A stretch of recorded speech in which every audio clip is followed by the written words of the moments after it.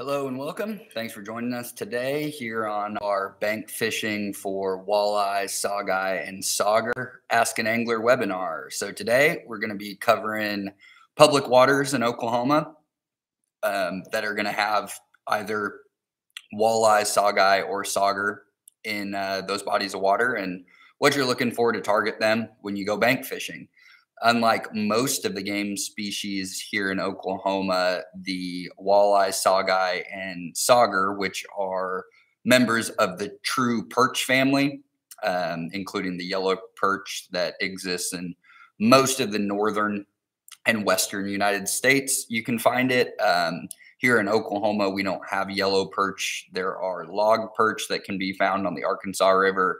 They're caught very randomly and it's not very common. Um, so these perch species, they are toothy fish. So inside of their mouths, instead of having the kind of sandpaper type mouths, they're going to have needle-like sharp teeth, equivalent to that of like a small kitten or a small dog. So sticking your hands in their mouths to get lures out is uh, not ideal. You're going to want to use pliers. So let's talk just a little bit about the species themselves before we get into kind of the bodies of water you're looking for, where you're looking to go, what you're looking to use, what type of time of year that you're ultimately looking to fish to have the best success um, as far as bank angling goes.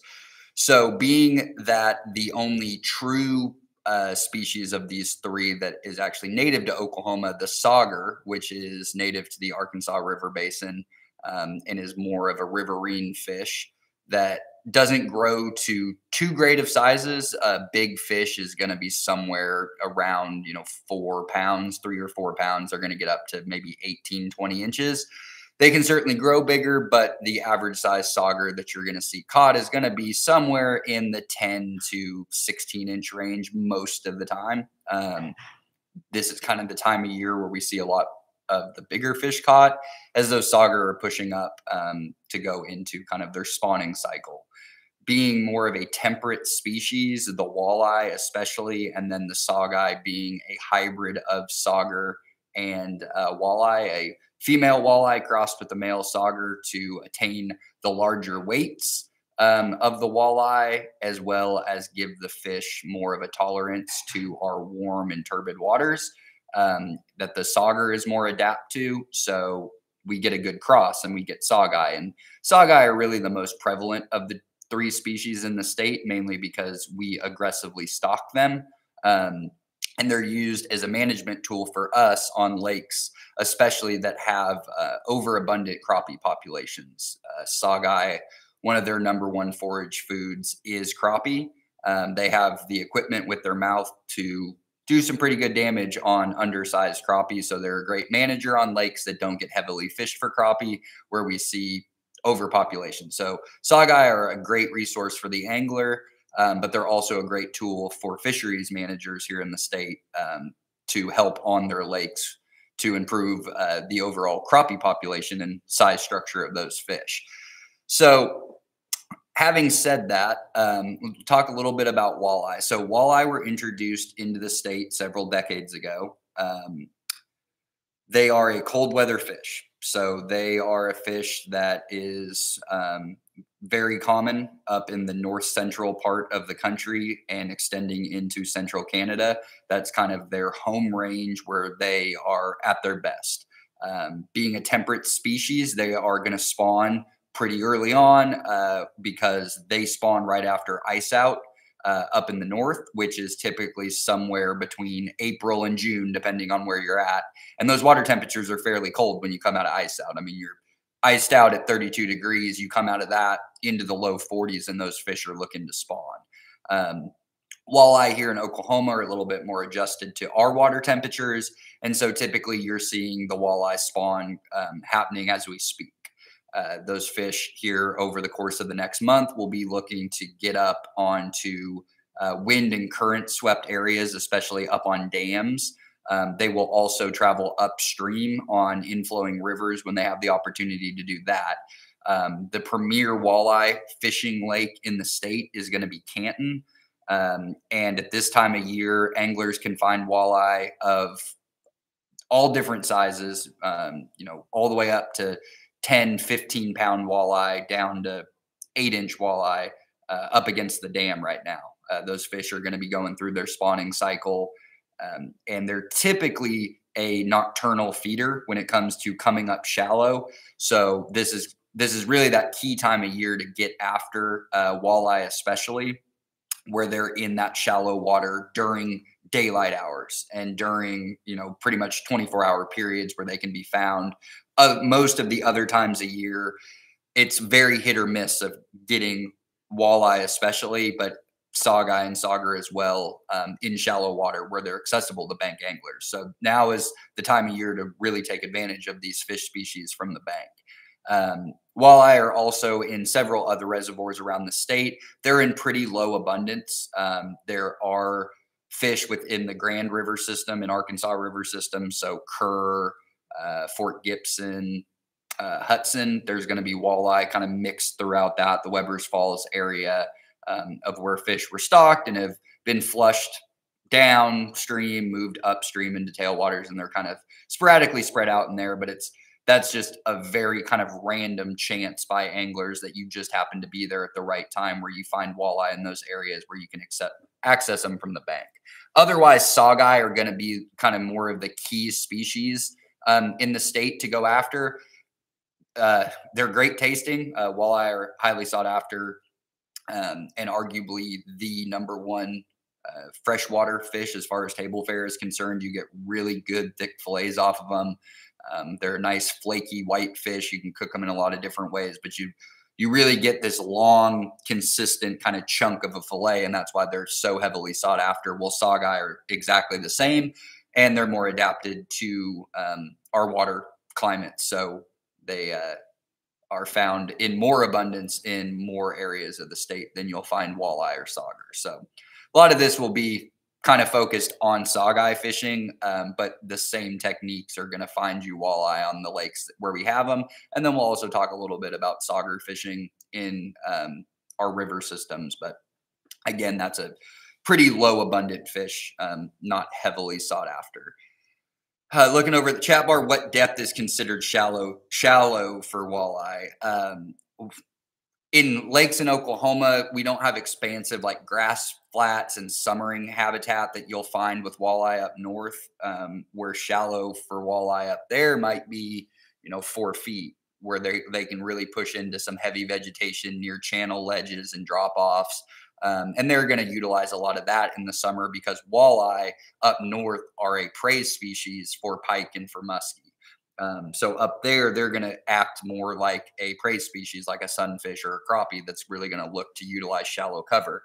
Here in Oklahoma, they're not much of a prey source. Um, they grow to big enough sizes that they're on par with your largemouth bass and catfish. Um, that could potentially predate on them. So their predation is going to be on their young um, eggs, fry, juveniles in that first year after that.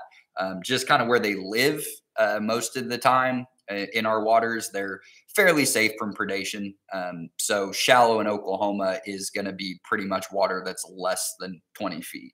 Um, this time of year, it's going to be very shallow. You're going to see, especially walleye, as they attempt to spawn. Saugeye will attempt to spawn with minimal success. They are hybrids, so there are going to be a lot of sterilization within those fish species, but there is the potential for um, reproduction. It's just very low within the saugeye species. Um, so with saugeye pushing or with walleye pushing up at this time of year, you know, you're looking at water that's less than 10 feet. That's going to be considered pretty shallow. Other than that, being a temperate species, our waters warm pretty quickly. Um, once we get into April and May, longer days, um, as we kind of get through the end of March and get rid of kind of these seem like weekly cold fronts that you get pushed down for a few days um, that just kind of slow that process. By the time we hit May and June, most of these walleye are going to seek refuge back out in the deeper water, looking for offshore humps, islands, channel ledges. Um, but again, because they're not in great abundance, bank anglers really don't have access to them most of the year, walleye especially. Saugeye, you're going to get a longer window um, in both the spring and the fall to be able to catch saugeye from the bank. Walleye are much more prevalent as far as being caught. um, 10 months out of the year from boats, trolling, um, getting out into open water, marking them with electronics and things like that. So, uh, for walleye anglers, your your windows right now. Um, Canton is a good one. Foss. Uh, some of the southwestern lakes will have walleye in them, but they're predominantly stocked with saugeye. And saugeye are going to be pushing into the shallow waters just after what uh, the true walleye will do. Um, but right now at Canton, that's really kind of our premier walleye fishery. So for bank anglers looking to target walleye, um, this is the month to do it, and it's going to be all along the dam. Uh, Canton's got pretty good bank access along the dam um, as far as for different able body people. Uh, they do have these parking areas that are across the road on the dam, and they have kind of a shallow, uh, light grade down to get to kind of these fishing jetties that are built out so you can get a wheelchair down. Um, then there's also all of the riprap, which for more adventurous people, you can, you know, walk the riprap and pretty much access every portion of the dam if you want to. And that's really going to be the hot ticket for walleye in the state. Every year is going to be middle of March to middle of April at Canton along the dam. Uh, there really is no better public access for the quantity and quality of fish that you can get into. And that's also why the walleye rodeo is there every May. Um, it's a big national draw. And that's they kind of target them after that spawning period when the fish have moved back out. So it's boating anglers having the most success during the walleye rodeo. But now's the time to look for that. As we kind of push into the end of March and get into April, that's really when those saugeye will start to turn on. Um, and you're going to find them in much more abundance in multiple bodies of water across the state, especially in the western half of the state. Um, they're pretty heavily stocked uh, as crappie management and then as well as recreation for anglers. Um, Hefner in Central, here right in Oklahoma City, they do have kind of a fluctuating walleye population. It seems that you'll have kind of this ebb and flow of good and bad shoreline walleye fish fishing, and that typically comes towards the end of March into April. It's usually kind of peak walleye for bank anglers at Hefner is going to be early to middle half of April, and it is most prevalent in the in the main marina right there at the golf course. Um, those fish will push into the back of the marina um, as they run through their spawning cycle. And there's a very consolidated window when there are when it is a good year of fish where you can get into them pretty good for about a week and then it's over with. Um, out then it's back out to the main lake on boats trying to target those fish on the humps and channel edges along the lake. Um, but saugeye give us a much better um, much better potential, uh, and they're abundant throughout the state um, for the most part. So that's kind of what we're going to be talking about. Um, the walleye, just wanted to touch on that. All of these fishing tips that we'll go through today are going to work on walleye. Um, the one main difference between the walleye and the saugeye might be preferable prey species. So really, the big difference is not so much the lure um, that you're using, but mainly the color.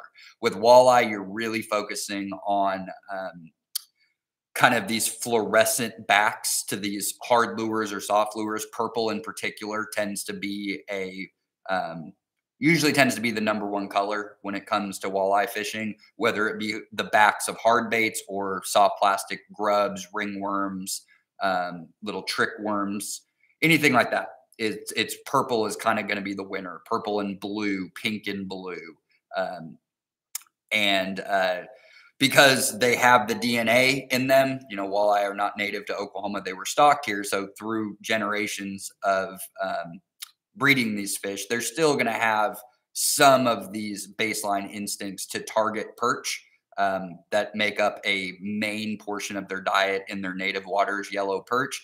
And you're going to see lures for that that are labeled primarily as fire tiger, and they're going to look pretty much like what yellow perch look like in the wild and it's going to be that color pattern with that green back, um, the vertical dark banding through the middle of the bait, and then orange to yellow or red on the underside of the bait in the middle of the bait.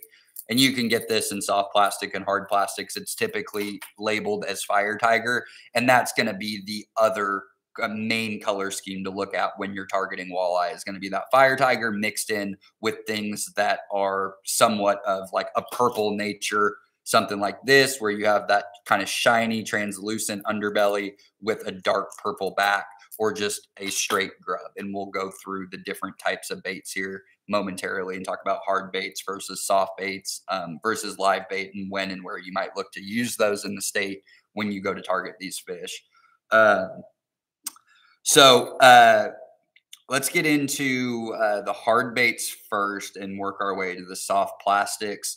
Um, hard baits are really good for walleye and saugeye when you're on a boat because you can troll these deep um, areas with them. But as they push up into the shallow water at this time of year, they are a good bait, especially the bigger hard baits that can land you some more substantial fish. Like I said earlier, most of our fish are going to range kind of in the 8 to 16, 18 inch range. Um, for walleye and saugeye, the walleye are going to run a little bit on the bigger side.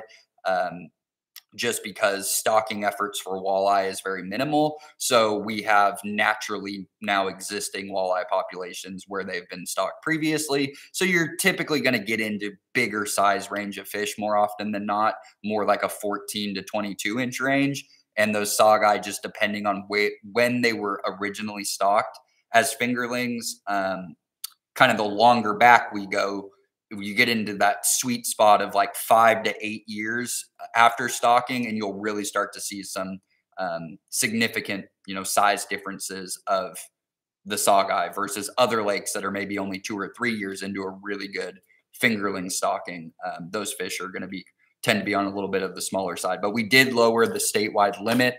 Um, there are a few lakes that still hold an 18 inch minimum or a 16 inch minimum, but the new statewide uh, for the last five years or so has gone back to 14 inches. So you're going to see a lot of the walleye and saugeye falling into kind of that 14 to 18 inch range across the state. Um, so with hard baits, anytime you're looking for walleye or saugeye, shoreline of lakes, and you're utilizing hard bait presentations, they're going to be more the long, slender type as opposed to your more square bill, short, stubby bass type crankbaits. Um, they're going to be deeper diving. Uh, the big thing in any type of walleye, saugeye, sauger fishing is contact with the bottom. So they are a bottom feeding fish. Um, not to say they're eating off of the bottom, but they that is kind of the area that they live. So no matter where they're at as far as depth is concerned, they're always going to be hanging out in the bottom third of the water column. Um, so being able to bang hard baits with bills on them to dive down to those ranges, that's why it's so efficient with trolling because you're able to get it down to that maximum depth and maintain that. Whereas when you're fishing from the bank, you're essentially fishing back uphill towards you. Um, so you're trying to locate fish that are either off transition structure like points or the dam where you'll have these steep drop off areas and into bigger holes or you know rocky kind of laydowns that you'll get when you drop off of these points kind of out into the open water. And that's where these fish are going to look to congregate on the wind-blown side of the lakes. And you can get a um, diving crankbait down to them pretty effectively. Um, the main thing with these long, slender baits in these flashier colors, your purples, your chartreuses, blues, and orange, those are going to be, you're really looking for bright colored lures. Um, the way that walleye and saugeye, their eyes, um, being more of a nocturnal feeding fish for shallow water, they push up into the shallows to feed um, in the nighttime for the most part. Um, outside of their spawning run, will they'll push up into that shallow water. So um, when you're trying to access them during daylight hours or in the morning hours, kind of the two hours on either side of dawn and dusk is really what you're looking for for peak fishing. Um, really at any time of year when you're going for walleye and saugeye, but especially as we get into this kind of peak window, which is March through May. Um, being able to dive a billed bait to that transition area and then work it back uphill towards you, you can cover a lot of the water um, depths to figure out where those fish are kind of at in that, but you know that they're going to be down anchored on the bottom. So get maintaining contact with the bottom is paramount, and sometimes casting a jig um, with the soft plastic, so a quarter ounce, a half ounce jig. Sometimes you find a lot more hangups that way. You get wedged in between rocks, and it's just difficult to slow down your retrieve to where you can feel that jig head bouncing along the bottom, and then ultimately you're hit it can be a bit of a grinding process as far as fishing is concerned with artificial lures because you're getting the sensation of bites dragging a bait down along the bottom. Um, and then there's going to be the inevitable snags and hangups that can cause frustration. Um, so utilizing a bait like this, it's going to have all these treble hooks on it. Some of them are going to be dual. A lot of them are going to be triple. Um, where's a triple one at? So some like these Shad Raps, these deep divers are going to have those three treble hooks on them. What I like to do with walleye lures is a lot of times, and this is kind of impractical, but if you know where fish are at, um, taking the hooks off of the bait. So finding a good color that you like to use, you take those hooks off, run this thing and bang it along the bottom. You have almost zero chance of getting snagged. You could still potentially wrap your line around something. But if you start getting bit on that, um, what I'll do is I'll just replace the back.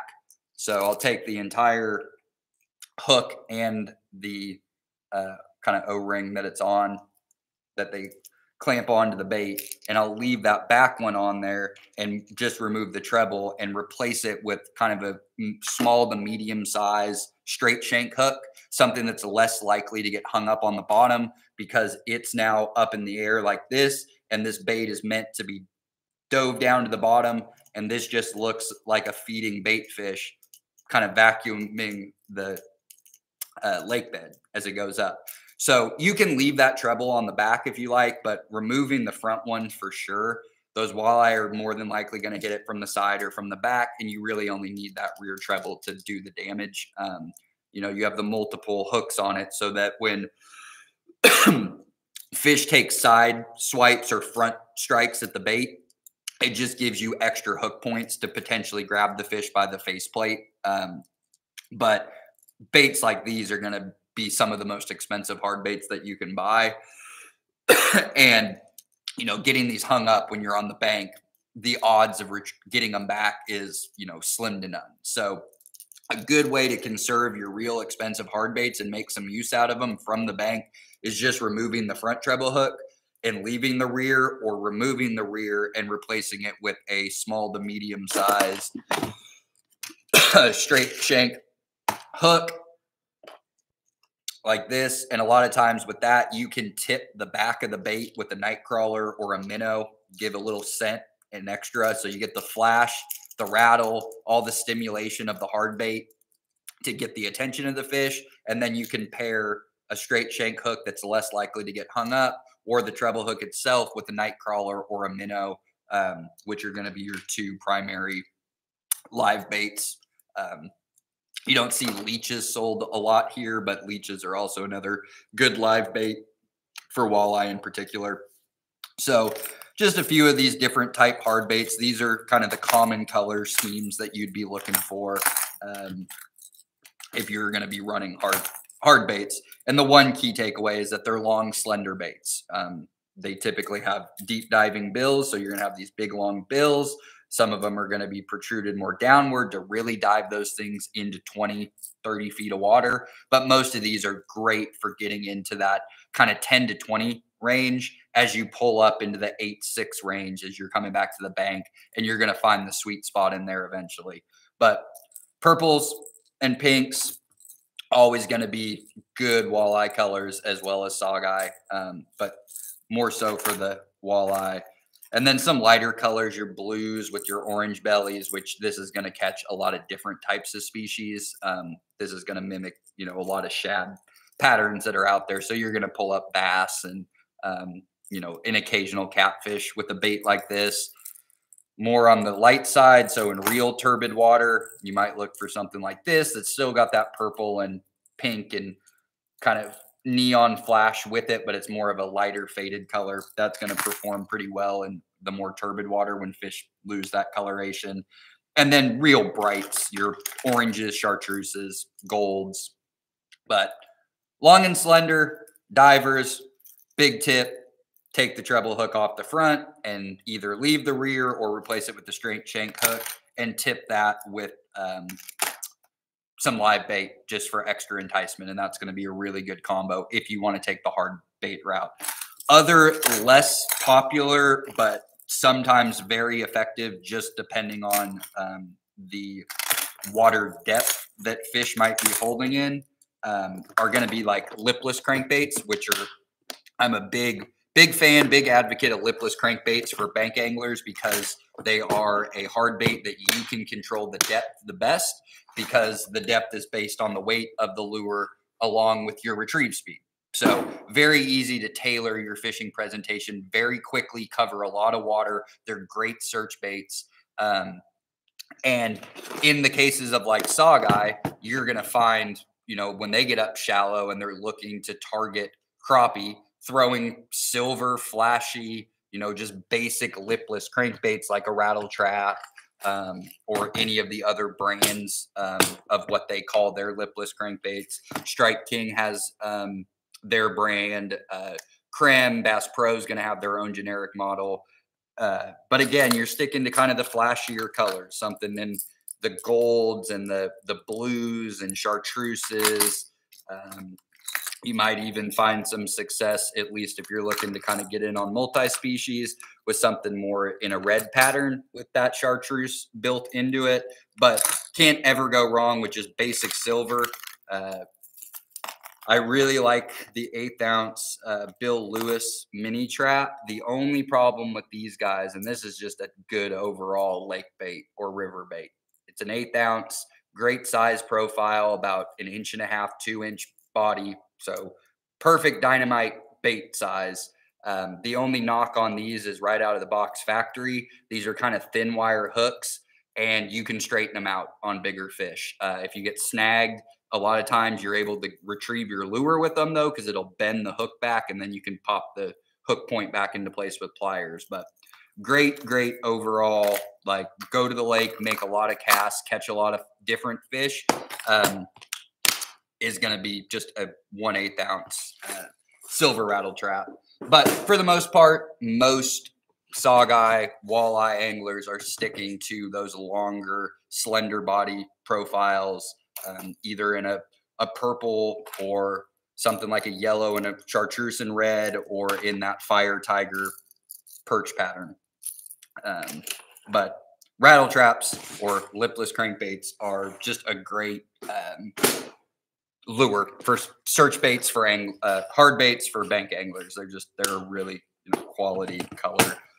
Uh, jerk baits jerk baits can be effective uh, in that shallow water. They they have the perfect bait profile and they're a suspending deal, so you can rattle them in front of fish and they either slowly rise, suspend, um, or slowly fall. But you can get them in you know that perfect color. So something like this, these RipStops by Rapala. Um, this is just a classic little jerk bait. You can fish them real slow. You don't need to pause and pop them. Um, this will get down to a depth of, you know, maybe four to eight feet, somewhere in there, which when you're fishing from the bank and those fish are up shallow, that is perfect depth range to get into. Um, because if you get the ones that are suspending or rising, if you happen to hit the bottom and you feel yourself at the bottom and you didn't find a snag, you can allow that bait to float up quite a ways before you either pause and pop it again or just a very slow retrieve with this and that very small bill you're going to get just a real tight wobble through the water. So you get the flash, you get that color. You essentially can fish it like a crankbait um, when they're up shallow. But it's a great size profile, and uh, you get some really good color patterns out of these RipStops. But most jerk baits will come in an assortment of patterns. Um, here's another one.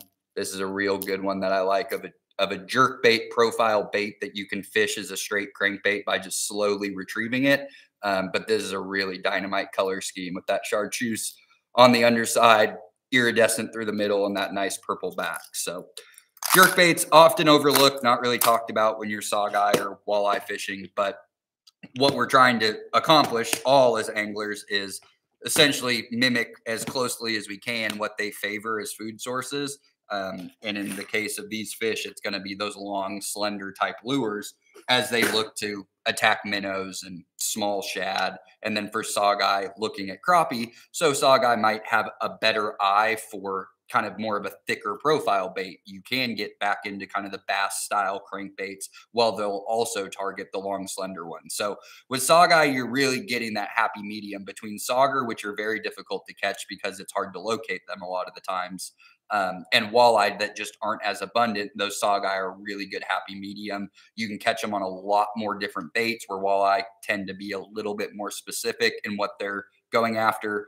But minnows and night crawlers for um, walleye especially so we'll kind of talk about how you'll rig up live bait as we as we go along some other jerk bait colors that we have um, you get that red with that chartreuse back which mimics our bigger diving crankbait and we have just this for our jerk bait. So get a lot of similar colors good good size profile.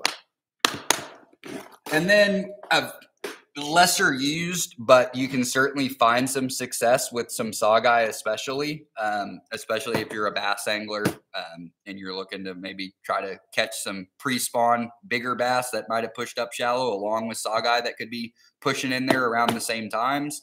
Are going to be your bladed jigs, flashy colors, reds, chartreuses, oranges. Um,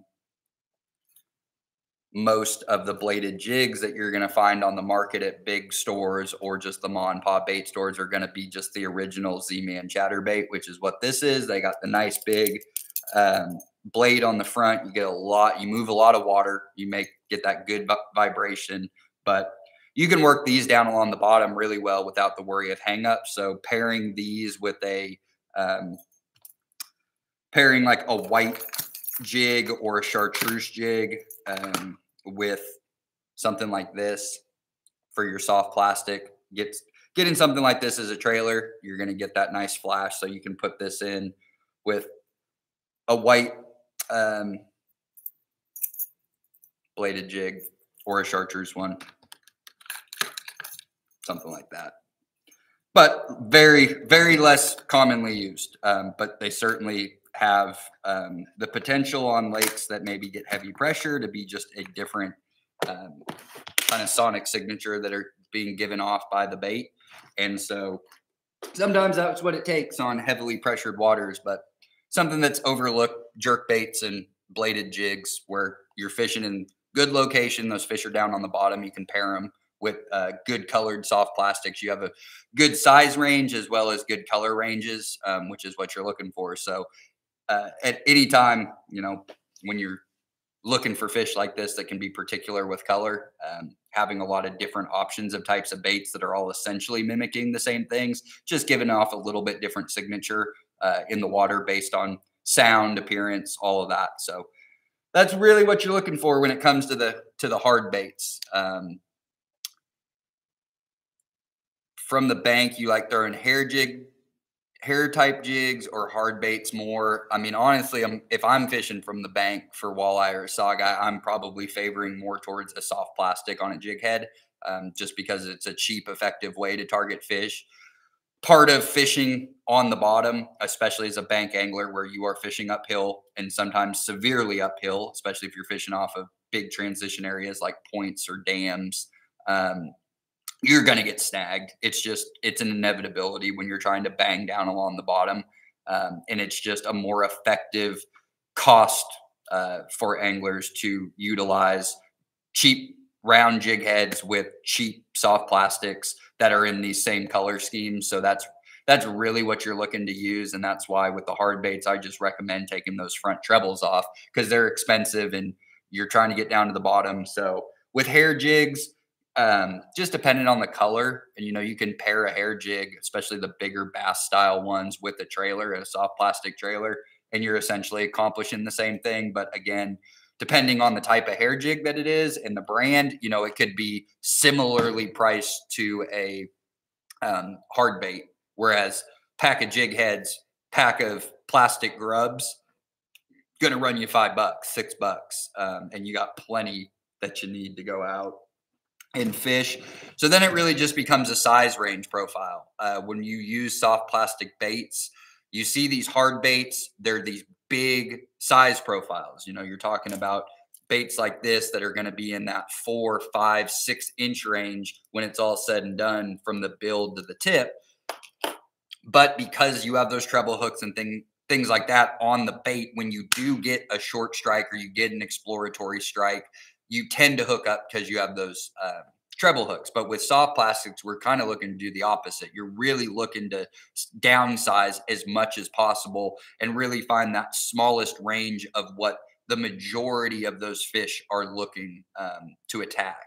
And oftentimes that's just a two inch soft plastic, three inch soft plastic. Um, but anglers have a tendency, you see walleye, saugeye, you see these bigger fish being caught. Um, and the natural instinct is you need to be throwing a bigger bait profile, which is true. If you throw a big four, five, six inch soft plastic, you're pretty much eliminating those smaller fish. Um, you are only targeting the trophy fish. And on some days, they are willing to give take at those real big size profiles. But more often than not, most game species in the state are feeding on very small prey sources. Um, body size is less than three inches. And so when you stick to that, not only are you opening up the amount of fish that you can potentially catch in a day, but you're certainly leaving open the spectrum of the fish that you can catch. There's nothing preventing a very large fish from taking a very small bait.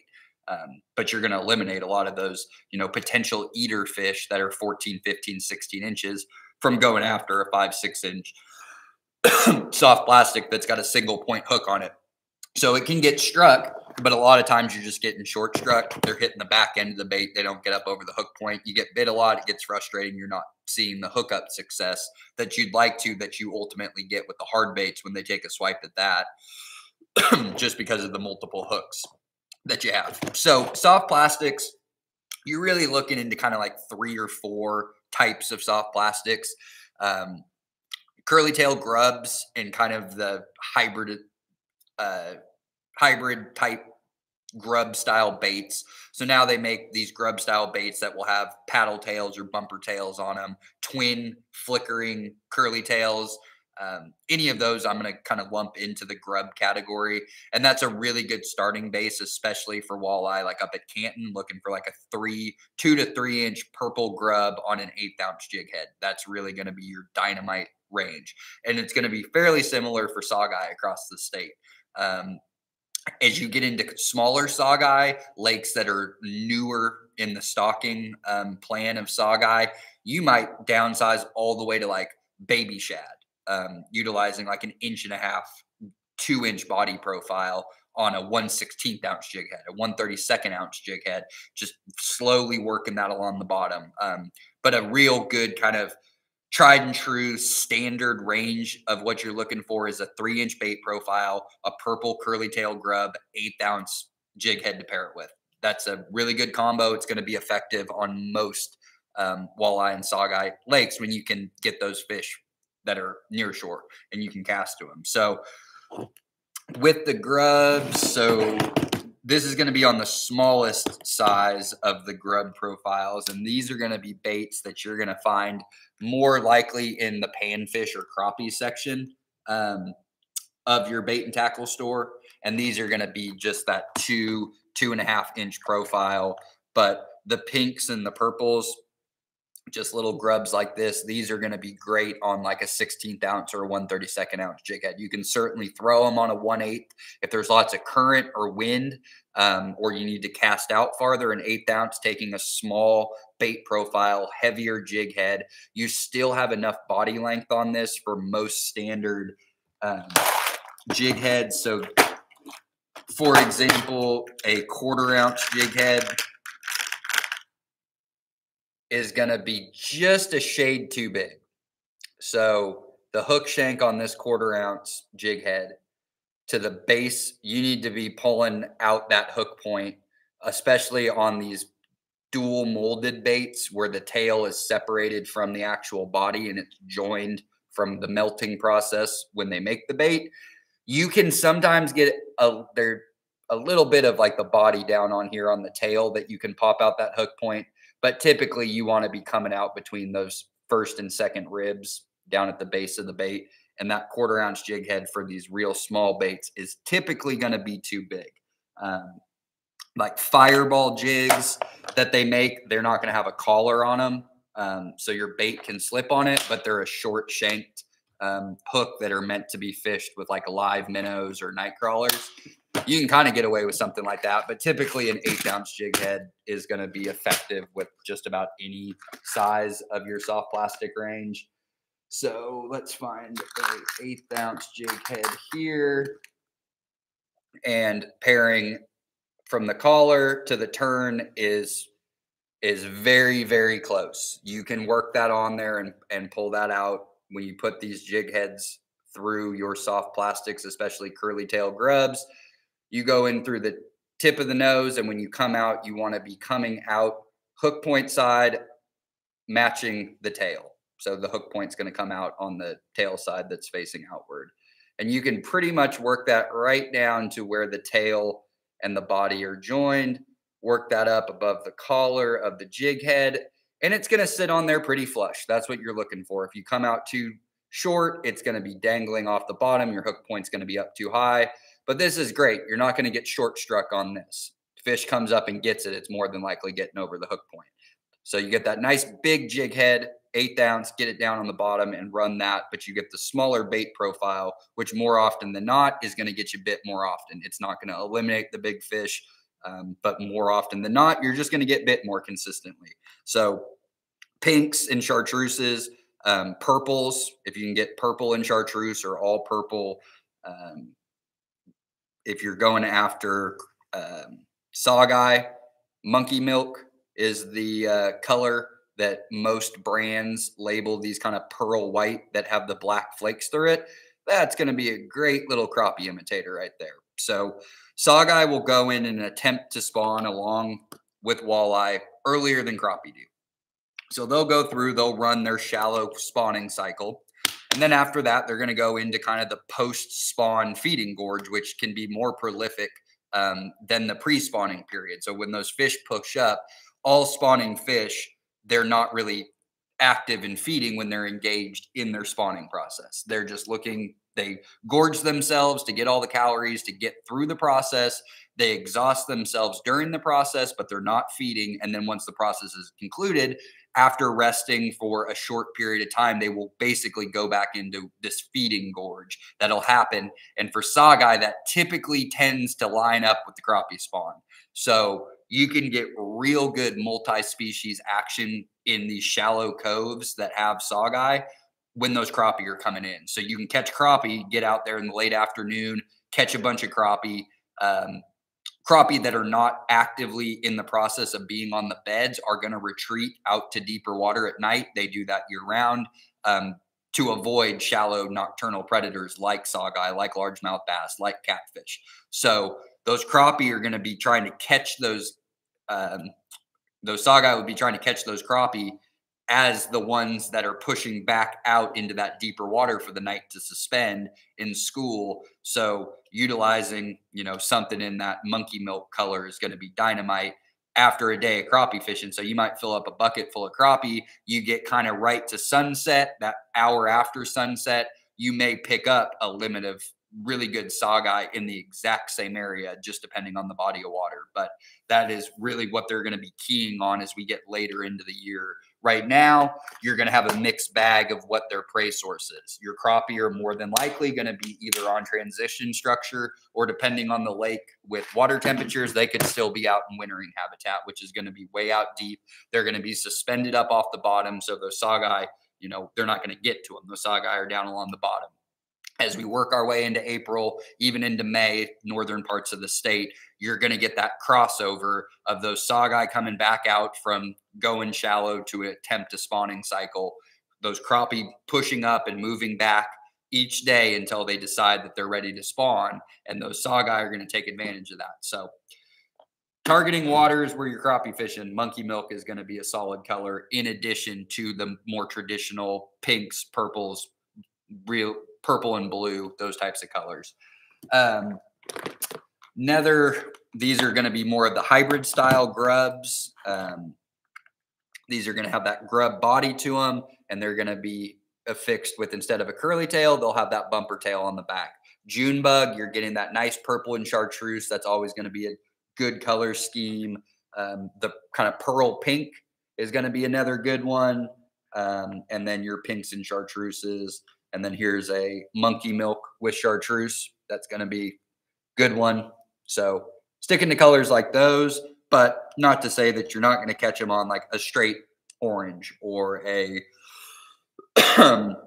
more natural color like a white, straight white, white and chartreuse, straight um, brown or a green pumpkin, something like that. That's just that black and chartreuse. That's this will probably pick up a lot more bycatch, get little bass on stuff like that. But those are again going to be found in your panfish sections, crappie sections of your local retailer. So that's a good place to start to get those small um, baits. Uh, where else? Here's some of well, we'll do the small baits first, and then we'll do the bigger ones. So then the next real small option of your panfish are going to be your baby shad, um, and in that your Bobby Garlands, here locally are going to be probably your popular bait choice, but they do make a couple of real bang up colors um, that you can get into those walleye and saugeye with.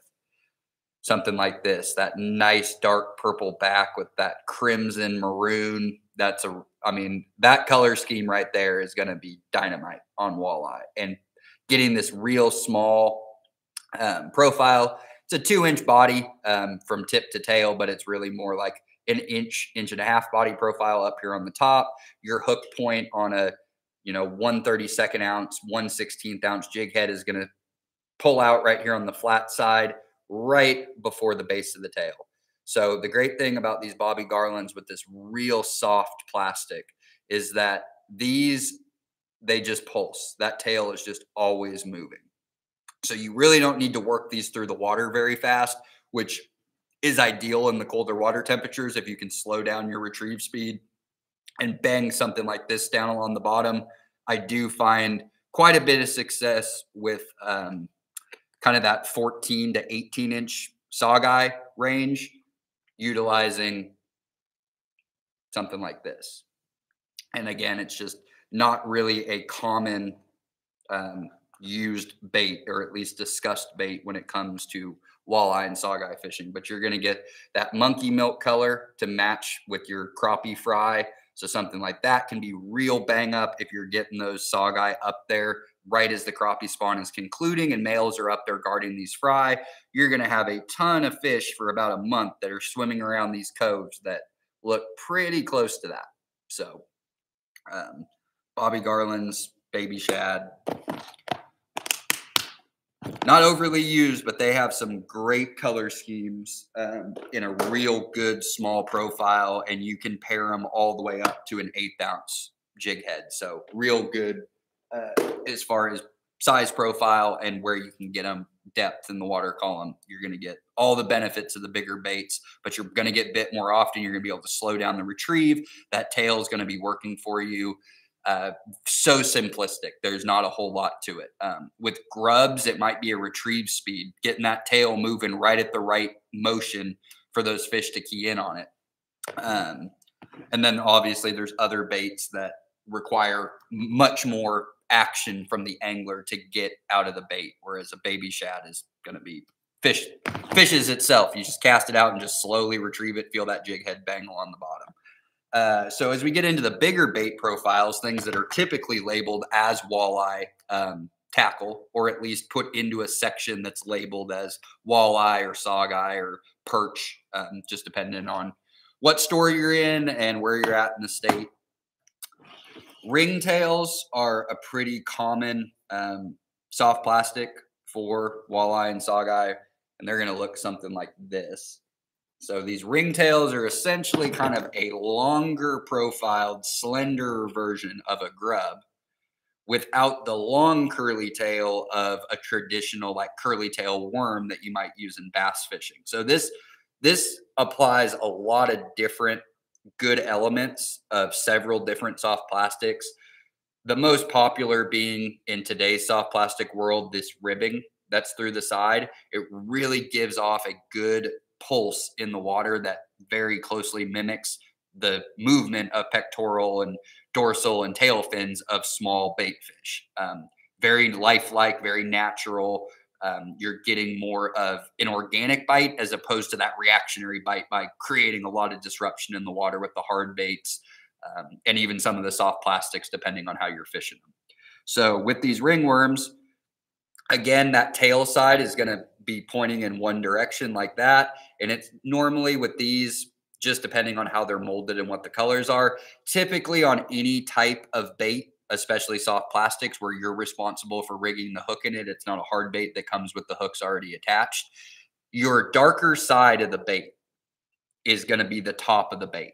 So, in fishing and with fish biology, fish are dark on the back, light on the underbelly. Lots of different colors, but always a darker color on the back, lighter on the underbelly. And what that is, is that darker color allows them to blend with the bottom from avian predators. So eagles, um, egrets, herons, um, any birds of prey that swoop down on the water to grab fish. So having that dark top matches them with the bottom, and then vice versa for pre- uh, underwater predators, whether it be fish or turtles or um, you know, any type of amphibian or reptile, having the lighter underbelly when predators are underneath a prey species, that lighter color is going to blend in better with, you know, the open sky. You're going to have that, you know, very bright. There's not really a lot of um, things as far as contrast. And so having that lighter underbelly. So that applies to baits and soft plastics in particular, where that darker color of the bait is more often than not going to be on that top side. So with these, it just depends on the mold, but usually that tail is facing upward on one solid color on the top. So that's where you're going to look to pull your jig head out of. The one thing that I don't like about ringworms is that without specialty jig heads, longer hook shanks to get that um, hook point coming out more mid body, most of your jig heads are going to be up. It's going to split this bait into a third, which means two thirds of your soft plastic is behind your hook point. That is very easy to get bit all of the time without the hook fish ever getting up over the hook point, which can cause frustrations because you're getting bit.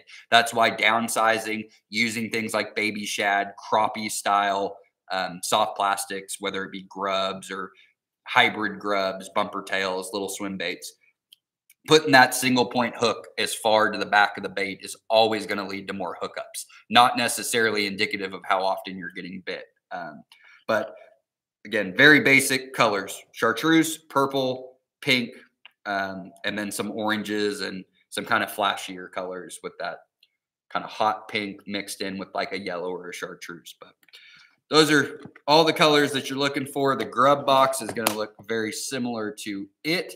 With grubs, you get that nice big long tail on it, but the actual bulk of the body is a shorter, so you get that hook point farther out.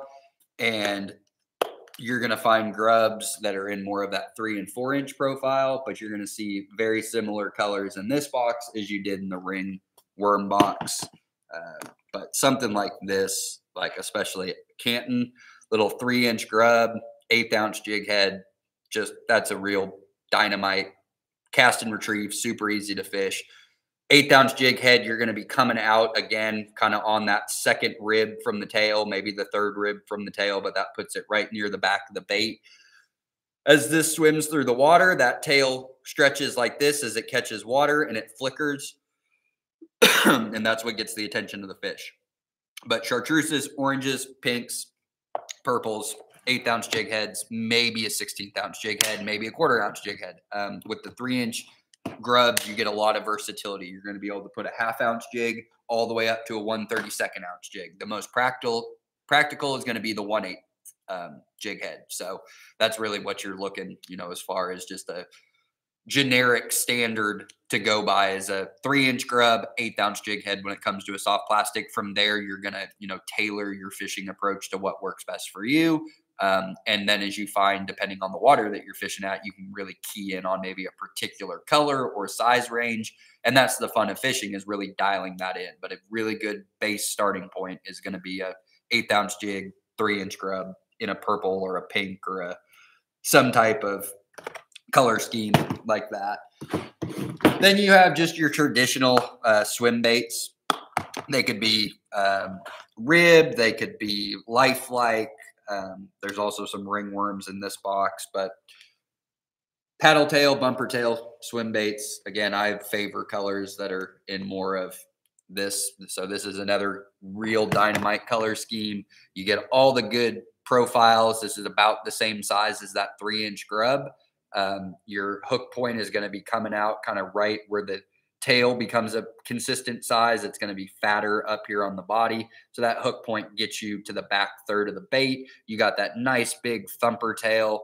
Um, these have really come a long way to really replace the grub as the next real kind of across the board um, fishing soft plastic forever it was the three inch grub that was pretty standard for most game species whether it was bass or crappie or white bass or um, walleye saugeye any of those predator type species was the three inch grub eighth ounce jig head. Technology has brought us a long ways in a quick amount of time. We're starting to see these ribbed swim baits meant to be jig or rigged with a jig head just like a um, grub but you're just getting a lot more action out of a bait like this. So, rib swim baits, real good innovation in fishing these days. Um, see that uh, kind of pearl pink. It's hard to see the pink with that light directly shining down, but these are going to be the two that I'm going to look to use to start off with when I size up. So if I'm getting steady fish on the baby shad or on one of the smaller grubs, if I'm looking to size up from there, one of my first go-tos is going to be just depending on the body of water that I'm at and the watercolor. It's going to be one of these two with an eighth ounce jig head, maybe a 116th. These are a little bit heavier, so you'll get a better sink rate just from the bait alone. Um, then you have all these different kind of lifelike baits that they make that you can also pair with jig heads that you'll find. There's going to be a never ending assortment of um, soft plastics and primarily in today's world, the any type of swim bait. Swim baits are really dominating kind of the soft plastic uh, genre within fishing tackle right now. You're going to see lots and lots and lots of rows filled with different types of swim baits, whether they're pre-rigged, meant to be rigged with certain style hooks, or just your traditional ball head jig, easy peasy out the bag, um, get you on the water catching fish. The last soft plastic um, bag or box that we got, some more very basic grubs. Um, and then for jig heads, basic ball jig head, but if you if you want to add some extra enticement to any of these baits, going with a Roadrunner head, something with that underpin, you get the flasher with it. Um, that can sometimes make a difference for pressured fish or finicky fish, just giving that little bit extra flash. So instead of a um, just basic round or minnow head shaped jig, you get that Roadrunner head or an underpin blade head gives it a little extra flash, but you're going to rig them exactly the same. So pretty much it for the soft plastics. Um, you can try some like trick type worms, things like this that you would see in bass fishing. They do make these in a few really good color schemes, like this cotton candy or a you know a purple. Um, but here's a few different types of uh, trick worms that you can Texas rig or throw on a jig head. You can get creative with baits like this, drop shot them, run them across. Not as effective to catch bait uh, or to catch the fish with as a hard bait or a three inch bait profile with the jig head, but for some people, getting creative, catching fish in different ways, the trick worms will find fish. Um, they're the right color schemes. They're kind of the right size profile, a little bit longer, but much more slender. You can get, you know, some different bigger fish to come grab something like that. Um, you just, you can, you can rig those trick worms in so many different ways. It just kind of opens up, you know, a different pathway to, to reach fish. So that brings us into um, kind of our live bait. Um, you have your your harness crawlers, your crawler harnesses, which are going to be spinners. Um, they're typically trolled. It's not to say you can't cast them out and retrieve them on the bottom with a no snag weight, but they're going to be sold um, different styles. Some of them will have the balls um, with the jig or with the blades. So other ones are going to kind of have more of a floating body. So you'll have ones like this that have the the balls for flash along with the spinner. This one you're going to have this floating body with the spinner, and these uh, they unwind out. And essentially, what you do is you rig a um, a night crawler to these, and you have these two hooks on there. So you rig the head of the or one end of the worm up here. Maybe wrap it a couple of times just to make sure it's secured onto that hook. And then same thing on the back. Pinch it on the back, get it over the hook point, maybe wrap it once so that you're double hooked through. Um, and then the worm just hangs off the back. The flash gets the attention like this, um, just like I was talking about with putting a single point hook on the back of a big hard bait where you could then pair that with like a night crawler. Same thing with these. These are really meant to be trolled. You fish them out in, you know, that open water, get them down on the bottom. But you could throw a, you know, Lindy rig type weight. So these no snag bottom bouncing weights that get drug along. And this would be, so they sell these and they come on these little swivels that you need to directly tie your line onto. You could also use a snap swivel if you wanted to. I like to be directly tied on. And then you put this weight on. And when you put the weight on, you got to make sure that you're putting your line, your main line comes in through this way. So the seat of the weight is like that. If you put it on like this and go through this side, it's not going to drag across the bottom and it's going to get hung up and not do what it's supposed to do. But anytime you're fishing from the bank, utilizing bottom bouncing presentations, odds are you're going to find a snag. Um, so, from an effective standpoint, you might catch a lot of fish if you can stay on sandy or rocky bottom where there's just not a lot of snags, but you can also run into areas where you're going to lose three of these in a row. So, um, but night crawlers are a favorite of uh, walleye in particular, but you're going to catch saugeye with worms as well. And they also like minnows and leeches and they make different rigs. So, what I commonly will do if I'm fishing with live bait from the bank is I fish more like you're fishing for catfish, where you're just straight fishing off the bottom. Um, and Lindy rigs are great for that. So, a Lindy rig is essentially the same thing that we just showed. It just doesn't have the spinners with it, and it will come um, paired with one of those weights. Sometimes they will have single hooks, other times they will have double hooks find one that's not wrapped up here. So these are single hook ones and they come wrapped up again like this. You just need to unwind them. Typically, it's by utilizing um, the hook side. So you'll pull the hook and unwind it a few times. And then once you get to unwind, it should come straight apart. They're usually, um, you know, when they're wound, sometimes they're not wound great. And you will find ones that you just have don't pull them tight until you get them completely loose or you'll you'll get a knot in there and you don't want knots and things like this. So with these, with the single hook or a double hook, you can tie a trailer hook or a stinger hook onto it like a treble hook off of the back of this.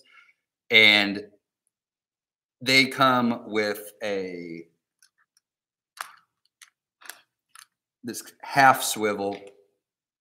So they come with a swivel that looks like this, where you tie your main line up here and you put your weight. They'll come in typically two sizes in retailers here. It's going to be a half ounce or a quarter ounce. I always try to use the lightest weight possible. So if it's not windy or current, I'll utilize the quarter ounce. But if it's super windy or bad current, up to the half ounce, and you go on like that. And then these swivels, instead of having a snap, it's just kind of wound on there. So these come with this loop on the end, and you take that loop up to that little sticking out pin right there that works its way into that figure eight. And you just press it up against the side that the pin is on.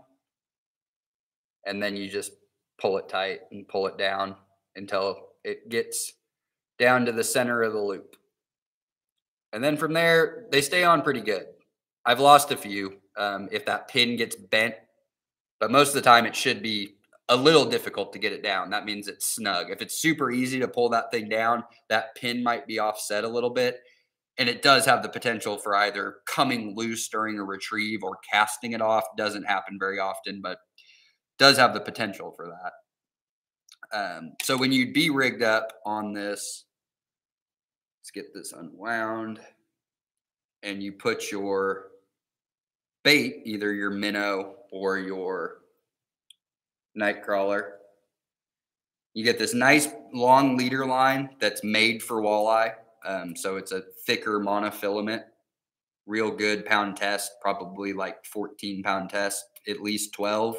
Um, so real good break strength on this. So you can tie this to a main line on maybe a medium action setup that's got like six or eight pound test on it, probably closer to eight or 10. Um, six is a little light if you hit a big fish, but you get this nice big thick leader. Um, so you don't need to be mainlined with a ton of weight, which is extra feel for when you're fishing off the bottom to indicate any type of bites.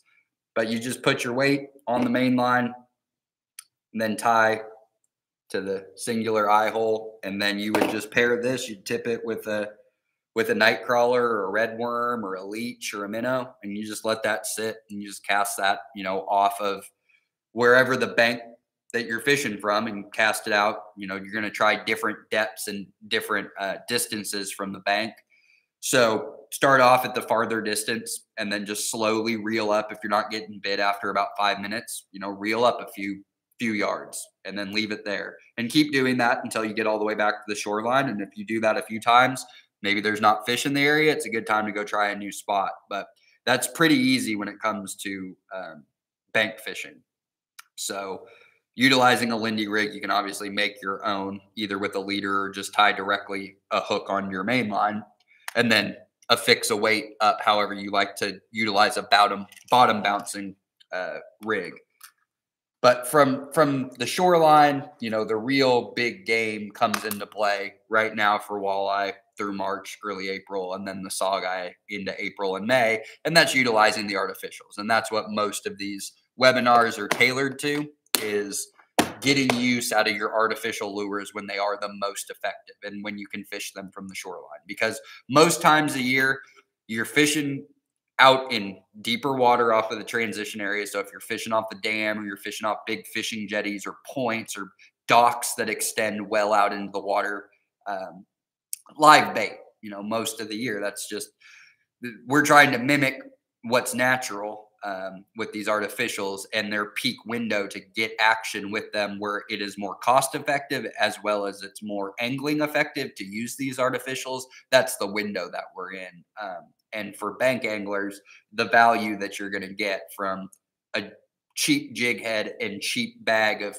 20 50 soft plastics is going to get the most bang for your buck. Um, as well as something cheap like a bottom bouncing rig, like a Lindy rig, or just making your own, um, and then tipping it with a getting a bucket of minnows or a cup of night crawlers and utilizing that. And in some cases, you might do both. Um, you always want to up your odds. So having a rod that's next to you that's thrown out with bait and then allowing you to basically fan cast on either side of where you have your bait at um, and use those artificials and see if there is a difference. Sometimes those fish are going to key in on eating that night crawler or eating that minnow Other days it's going to be, hey, there's no point in having the live bait out there. The fishing is the action's so good with artificials, and that's really what you look for at this time of year because it's kind of the only time that it happens. With saugeye, we do see it again in the fall. Um, late October into November. Usually, that full moon around um, the end of October, early November really peaks the fall gorge for those saugeye before they go out into their winter patterns. So you do get that prolonged um, bite into the fall that you get with other species like a largemouth bass um, that tend to gorge themselves before they um, go into the winter months. With that, see, um, I don't see any more questions on there. Um, kind of talk about some some public areas to go where you'd look to be successful. The great thing about walleye and saugeye, unlike our crappie presentations or our bass presentations, where there's just such a broad assortment of lures um, and tackle choices that that typically takes up the entire two hours. Walleye and saugeye is pretty basic. Um, you know, curly tail grubs or ringworms um, or long slender hard baits. I mean, if you're sticking to one of those three, you're probably in a good starting position to really refine your um, walleye and saugeye fishing from there. Now, as far as sauger are concerned, the Arkansas River right now is kind of the place to catch them. Um, up in the Tulsa area, looking for public access areas beneath bridges. Um, you're going to get those deep uh, holes that are dredged out. The big thing with those sauger is water flow. So if the water is too elevated, you can't get to them. And if it's not moving enough, it won't push fish into kind of these active feeding patterns. So you're really looking for kind of water levels how they have it right now, um, where there's just a little bit of release from Keystone Dam, just enough to move the water somewhere in that 600 CFS range, 800 CFS range. You start to get over a thousand, it's you know, it gets hard to fish, and if it's under you know four two 400 somewhere in there it's typically not enough flow to really have them actively biting but we are in that peak window. Sauger not, that bite does not last for very long. Um, so if you're looking to target sauger this year if you live in the tulsa area um, up in that kind of general range or if you live in oklahoma city and you're just looking for a day trip on a weekend to go fish you're going to have a bunch of white bass mixed in right now so it's a good multi-species time um, to target sauger because you you'll find areas where you should see schooling white bass mixed in, um, especially the farther downstream from uh, kind of the Jenks area that you go. You're going to find white bass looking to hit up a lot of those feeder tributaries that come in through the Tulsa Metro and dump into the Arkansas, just southeast, I guess, of of Jenks. Um, of the Creek Turnpike Bridge, uh, but there's lots of public access along the Arkansas River um, right there in Tulsa. Lots of the river walk, so you could access quite a bit of river publicly, um, moving up and down, and that's where you're looking to fish little small soft plastic swim baits, um, purples, bluebacks, uh, blue and chartreuse is is my preferred color. I think it just does such a good job of mimicking um, shad and minnow species and most of our fish here in Oklahoma, they just they really key in on that that blue and chartreuse color. So something in kind of this pattern where you have that lighter or darker blue back. Each brand is going to be a little different.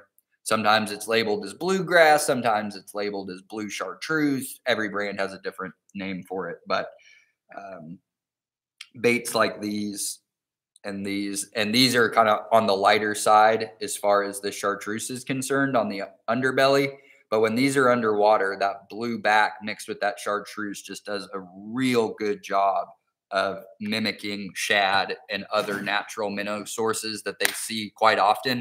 So it's a really really good color scheme for all species here in oklahoma but particularly when you get into the the white bass the saugeye sauger um, and white bass um, and crappie.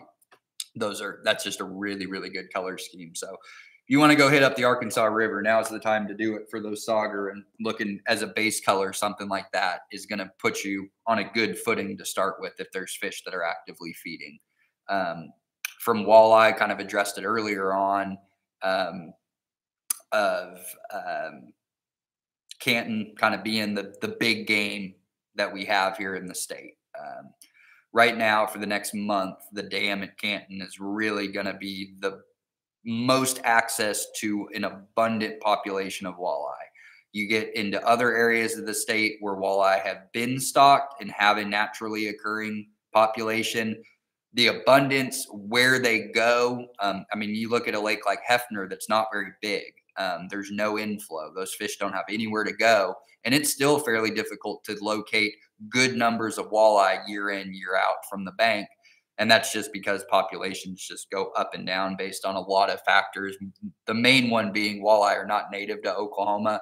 And unlike a lot of introduced species, because they are more of a temperate um, they prefer the cooler water temperatures. They just don't do very well in Oklahoma. Um, so they don't reproduce quite as well. They, you know, their abundance, their size growth.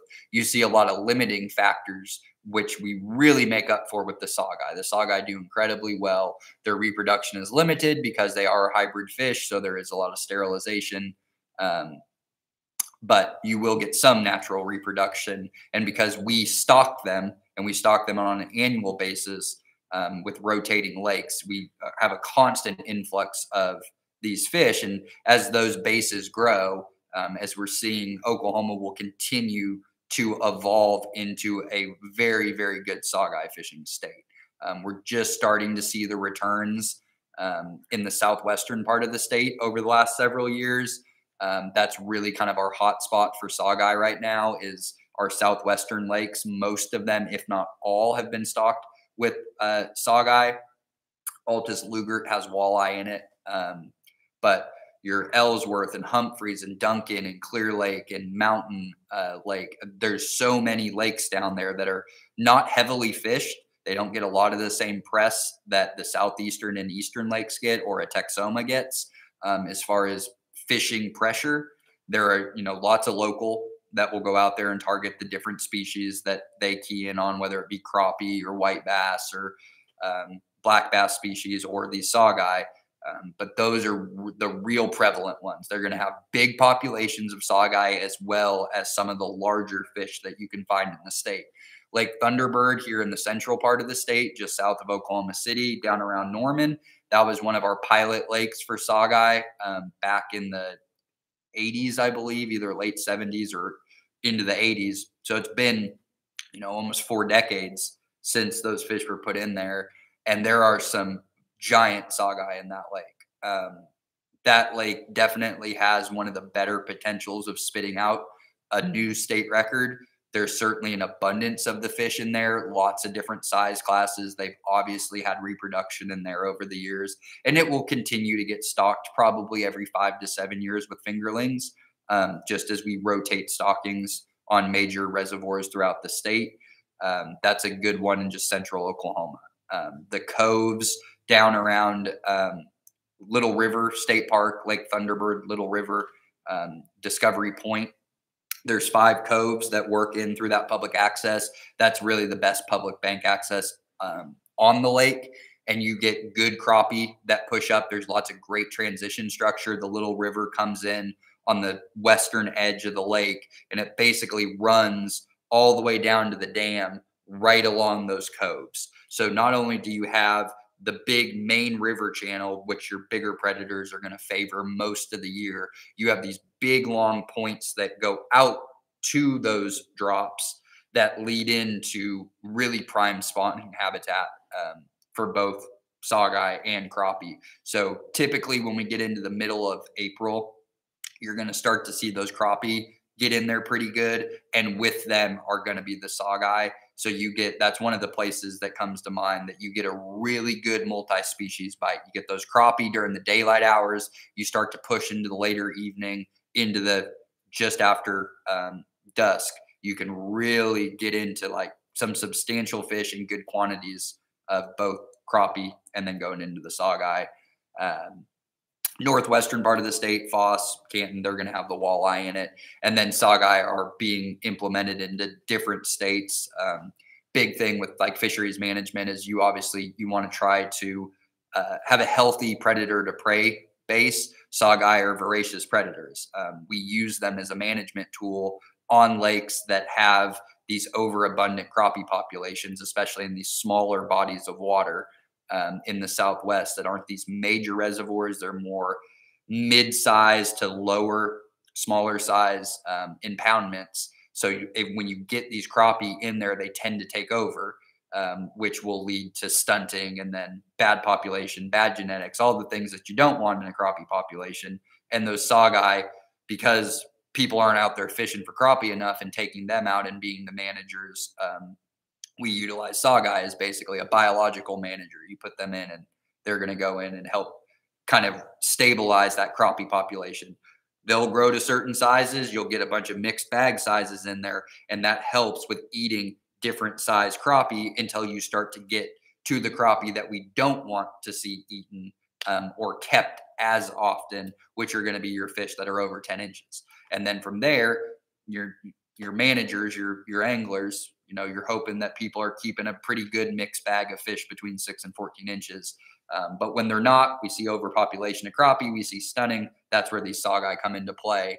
And that's really prevalent down in the southwestern part of the state. So those are going to be your best public accesses. And what you're looking for when you fish for the bank are going to be um, shallow, sheltered water where crappie are going to spawn that are out towards deeper water. So typically coves that are right off the corner of a dam. If you have a long point, a lot of lakes, um, because we don't have natural lakes here in their reservoirs, so they're either creeks or river systems that have been impounded by an earthen dam.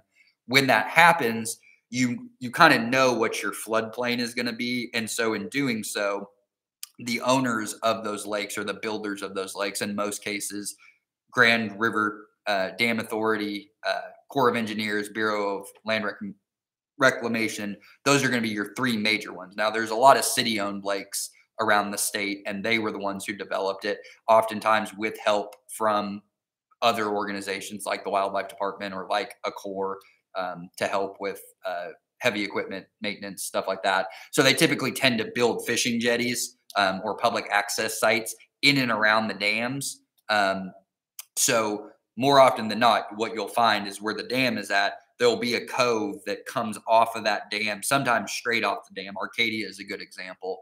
Um, the cove below the uh, Central Street Park um, at Arcadia, there's a big long cove that comes in off of the deep water right at the big holding tower of the dam, which is a great holding spot for the saugeye that are in Arcadia.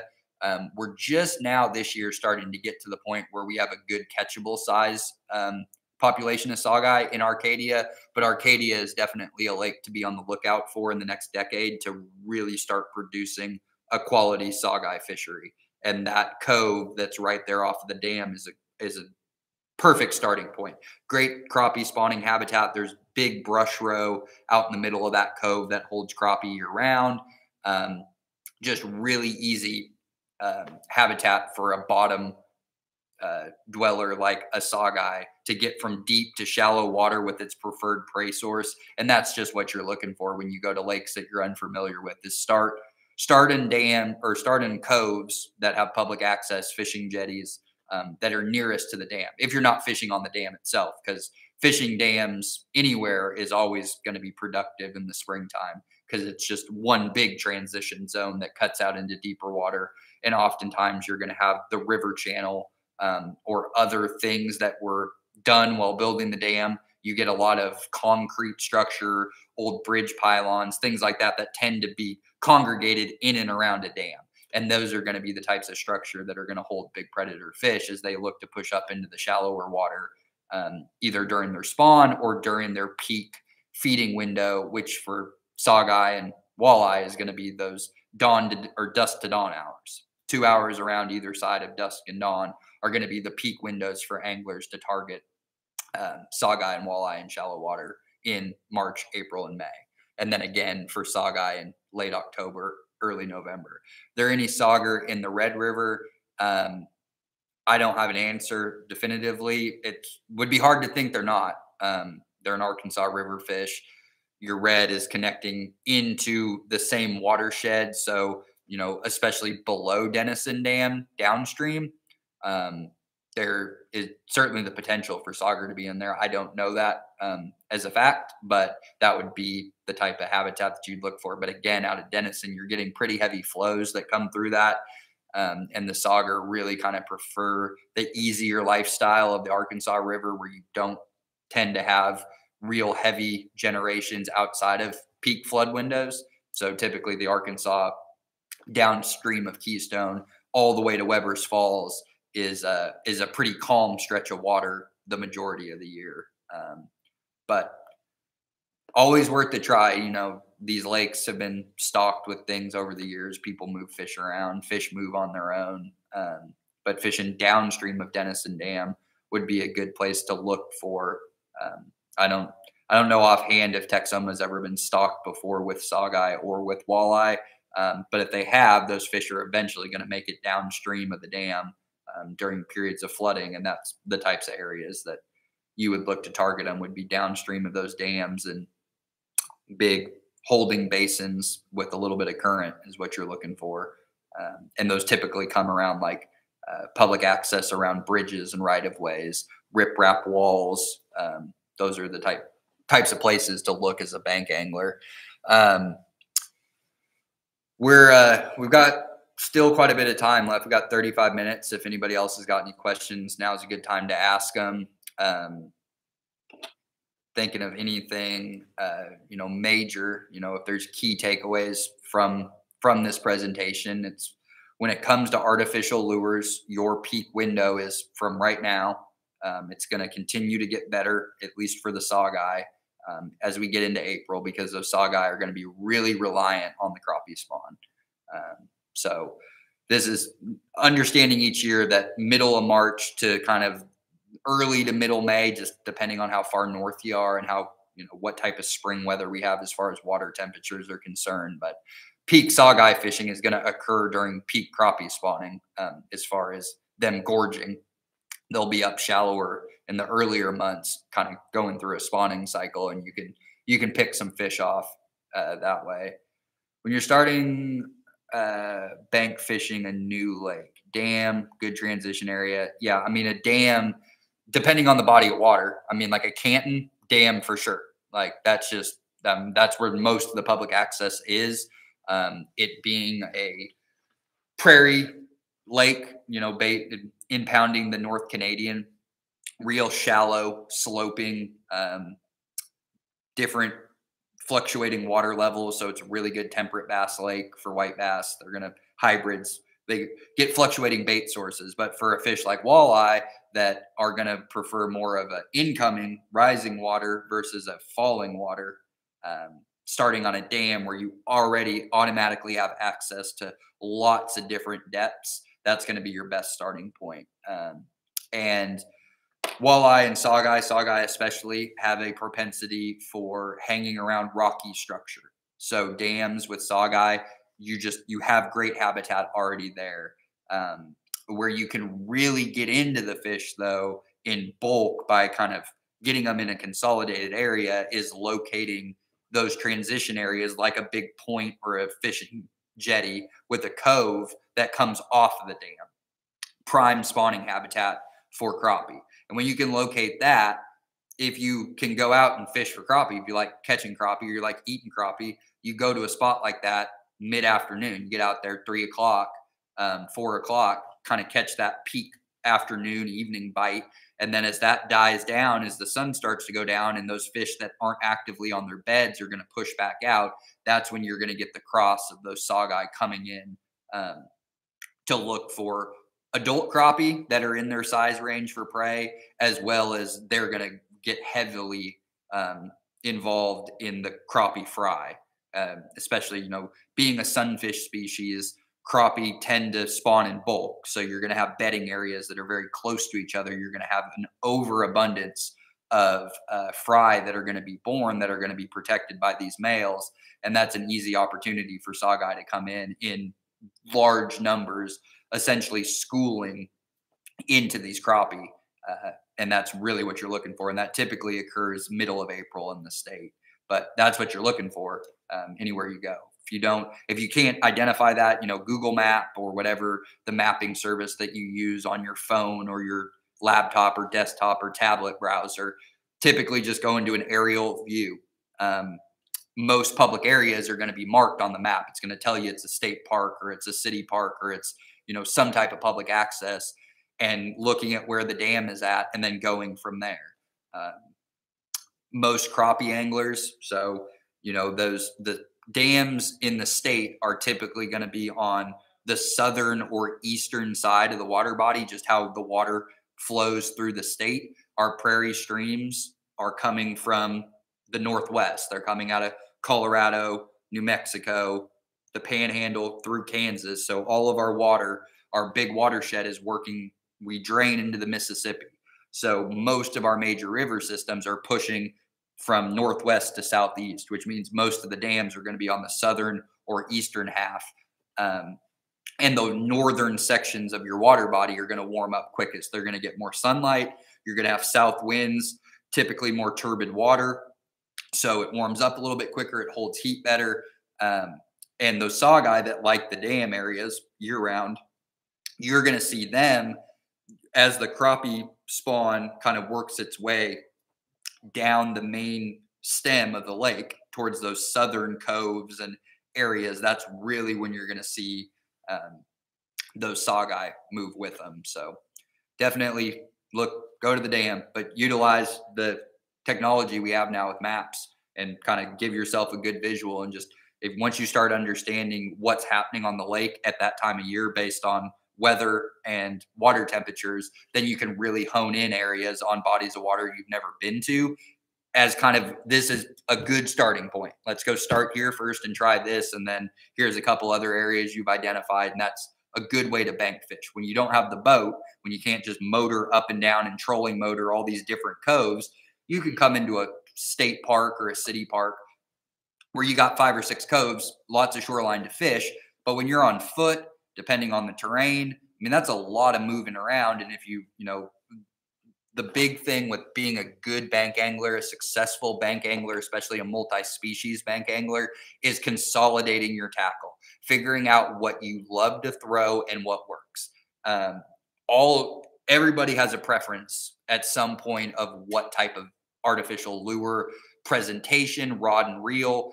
When you can start pairing all that together and gaining confidence, you don't need a whole bunch of different rigs and setups for all these different species you can go out to a lake and throw a baby shad on a medium light action rod with six pound test.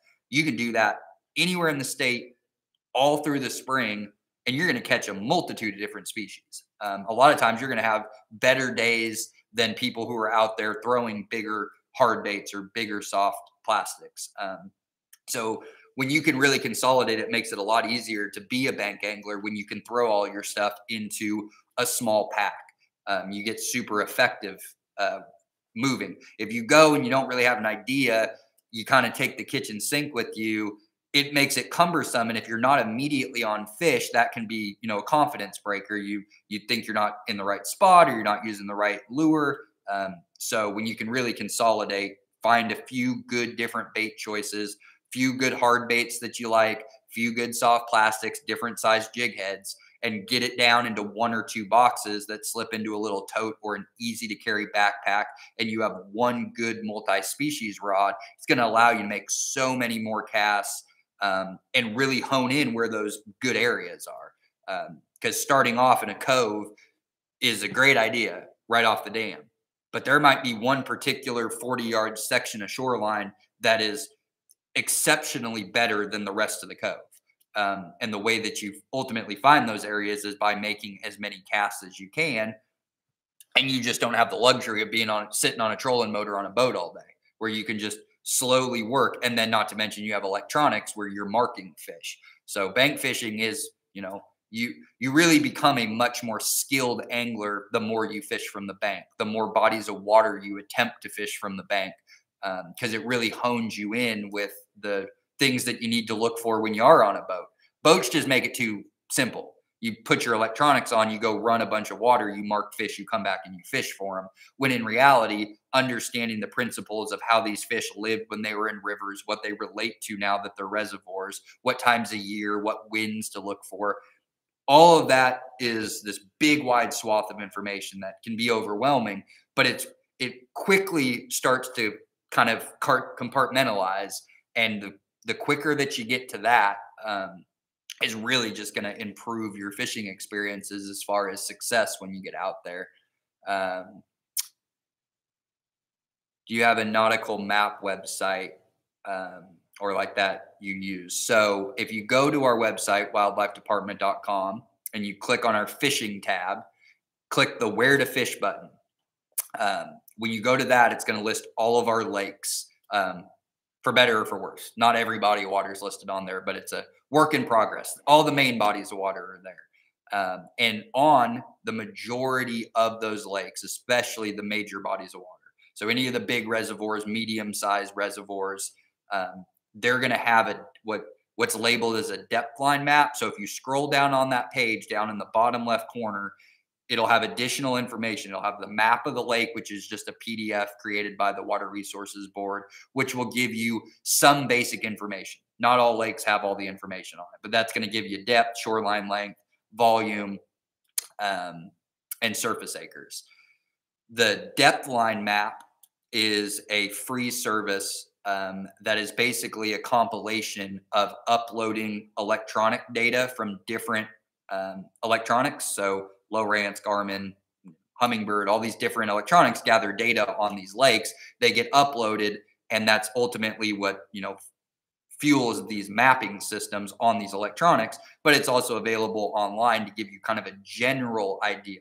They're not 100% accurate. There are going to be some minor discrepancies. It's giving you a baseline kind of what it looks like from the shoreline out to max depth, but it can kind of show you where the river channel is at. It'll show you where there's big transition zones. So just go to our where to fish page, click on the lake that you're interested in, and more than likely there's going to be a link down at the bottom left that's going to say depth line map. And just click on that, it'll take you right to the lake and it'll show you. Now, sometimes with those, if you're not familiar with the lake, the easiest way to examine them is if you're on a desktop, especially or a laptop or a tablet, somewhere where you can separate two screens, pulling up the depth line map in one browser window and then pulling up a satellite image of the lake in another window so that you can match public access areas because you're not going to see public access areas um, on the depth line map. So identifying the public access and looking at those and then matching it up to the depth line map and seeing which public access areas have the you know the best features the most structure areas, which are going to be these, you know, the closer the lines are together, the more rapid the depth change and the shorter um, uh, feet. So closer they are together, more depth change per you know foot that you're moving away. So those are what you're looking for. The tighter the lines, those are going to be transition areas. And so when you can put the, match those up with the public access, puts you in a gives you a better idea of getting into potentially a better spot faster. Um, yeah, with lake levels. So yeah, that's but it's also you know going out. I love seeing as many lakes as I can during the winter months um, when I'm out traveling because you get that winter drawdown. We're obviously in hopefully what are the tail ends of going on a two year drought across the state. Um, but you even during normal levels, non drought years, you're going to have winter drawdown. So that's basically preparing the lake for spring rains, um, allow for full pool to come in so you don't have major flooding incidences off of the first rains of the spring where you get too much water coming in. Then you got to open up all these dam gates. You create flooding downstream inevitably. So these big major reservoir systems do what's called winter drawdown. Um, and that gives you a really good picture of the shoreline. So when you can get out in the winter months, January, especially, typically towards the end of January, early February, is going to be when winter drawdowns at its lowest before you start to see moisture come back into the state later February into March and then April. Um, you get a really good feel for what's on the bottom. Uh, composition is a huge deal. Um, when you draw that water down, even though you might see something like depth change on a map, there's big differences in depth change if the composition of the bottom is not a favorable composition for you know these game species which is going to be you know sandy no structure kind of just these dead zones that you might get bait balls they get pushed back into, and temperate bass and largemouth may follow them in there when they're there. But there's nothing really to hold these game fish um, for long periods of time when you want to be able to target them. So you're looking for areas that have, you know, gravel, rock, especially. Most of our game species really relate to that hard bottom when they can find it. Um, and then you add in all of the extra bonus elements of cover and structure, like woody laydown, standing timber. Uh, these are big floodplains when they built these reservoirs. There's old homesteads, road beds, um, big foundational pads, things like that that are prime for spawning habitat, for uh, just ambush uh, at certain times of the year. So taking advantage of winter drawdown at lakes that you plan on fishing in the spring and really looking at all those factors, looking at the depth line map, going to public access areas that you think are you're going to have the most success at come good fishing window in the spring, and then just walking the shoreline and taking a look. You know, you can snap a picture so you remember, hey, this tree that's sitting right here, right off of this, is this great, you know, drop off with, you know, you're looking for structure that is unique within structure. So if you go up and down a dam, it's pretty much all the same riprap that you can see above the water line. But during that winter drawdown, a lot of the times, especially in a drought year, you can find things along that riprap that stand out. Maybe a big slab or a huge boulder that was thrown in that creates you know, some type of water displacement that isn't uniform with the rest. And those areas are always naturally going to congregate more fish. Um, so unique structure within similar structure. If you have a rocky shoreline and it goes on for 100 yards, where are the pieces within that rocky shoreline that stand out? A big wooden laydown, a huge tree that fell in the water that you couldn't see when the water was at full pool, um, a brush pile, change, you know, maybe there's a big drop, like something is caused, you know, back when it was an old creek drainage, you know, you just have this big, you know, either rock or wood that's got a big cut underneath it that just, you know, separates water column four or five feet in this very closed area. Remembering those places and seeing them will go a long ways towards finding those extra fish when you get into the peak windows of fishing in the spring. Um, lakes in the south to fish for walleye can you name a couple so the southwest i mean the big one is Altus-Lugert that's traditionally been a walleye lake now the majority of the lakes that are in the southwest um, are going to be saugeye so when you get into like Waurika, Humphreys, Ellsworth. Ellsworth is a really big saugeye fishery as far as total numbers and um, the opportunity to catch a really big fish. Ellsworth is a good one, especially below the dam when they're running water. There's a good stilling basin down in that that works out into a shallow channel. You can put on muck boots when they're pumping some water out of there. And if you can get it at the right time of year, you can really, you know, shooting fish in a barrel and you can catch some real lunker uh, saugeye out of that um, small tailwater behind it, but they got to be running water. Um, and then Duncan, um, Mountain Lake, um, there's a whole cluster of uh, small impoundments that don't get a ton of fishing pressure. They're kind of the quiet, really good black bass lakes, um, spotted bass and largemouth bass that you know they get local pressure from guys who go out trying to catch some you know double digit largemouth bass. Um, but all of those lakes in there are very heavily stocked with saugeye. Um, so those are the those are kind of where you're looking basically from Chickasha down to Lawton. There's a ton of lakes that are in between those areas um, that have all been stocked with saugeye over the year. They're low pressure lakes. They most of them have pretty good public access, um, and they're smaller impoundments. Obviously, when you bank fish, you know pond is the easiest, then creeks, then small rivers, then small lakes, then medium sized lakes, and then big reservoirs. Uh, big reservoirs get the most fishing pressure. Um, they have typically the least overall public access because the, they're so big that these little public accesses are fragmented throughout the lake. And just depending on where they're located, what bottom composition is, what game species are moving into those areas, it's just such so much more of a um, of a gamble when you go bank fishing if you're not familiar with the areas, especially on the biggest reservoirs, because you're just trying to utilize, you know, the best knowledge that you can take with you, which is looking at depth line maps, looking at aerial footage, identifying public access in good areas, um, and then water temperatures, wind, light cycle, moon phase, all these different things that really have a you know a bigger impact on fishing than most people realize. On the big water, it's like if you're going to a brand new place, you're taking a swing in the dark. You're just trying to take as much good information as you can, and hopefully you put yourself on those fish. Um, but fishing the smaller lakes, and there's tons of them in the state. City lakes, city lakes are awesome. Um, you're especially a lot of them have saugeye in them now, but you certainly up your odds on bass, crappie, temperate bass, channel cats, sometimes blue cats if they're in there or flathead.